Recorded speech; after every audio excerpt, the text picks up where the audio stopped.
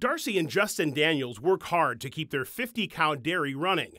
They recently started having their milk made into cheese that they could sell at local farmers markets and in their tiny farmstead shop.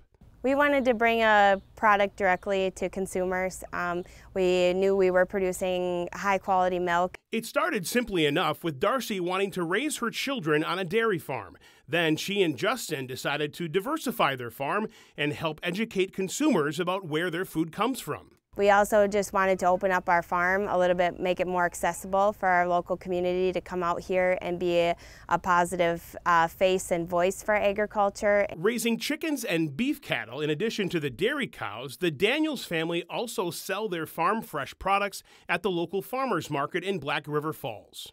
People value having the connection with the farmer and our products. I mean, it, it's, it's definitely um, had a, a positive impact on what we're doing with our farm right now. And back on the farm, having that connection with her kids provides a solid foundation for their future, while building connections with consumers who stop at the farm has its own rewards too.